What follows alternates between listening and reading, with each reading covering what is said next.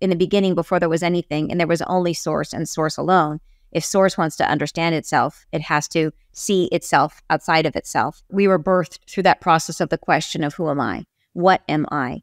And then every aspect of source, almost like when you play pool and the ball hits the, you know, the triangle of balls and then they go and a billion souls are born, you know, and each one is an aspect of the divine, which is wanting to understand itself better. Who am I as you know, Anne Tucker, who am I, is Julie Ryan. The angels say each of us humans, we are different from them because we carry the spark of the divine. Angels carry the light of the divine. They are divine awareness, and we are the spark of the divine. So we carry the ability to create our reality.